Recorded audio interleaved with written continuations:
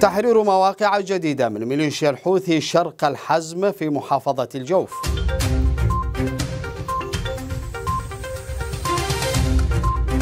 المشتركة تفشل محاولات حوثية لإعادة ترتيب صفوفها في أربعة قطاعات.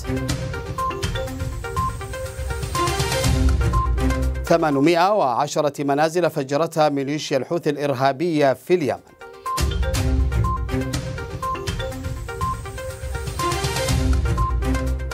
المحكمة العسكرية بمأرب تقضي بإعدام خمسة من عناصر ميليشيا الحوثي.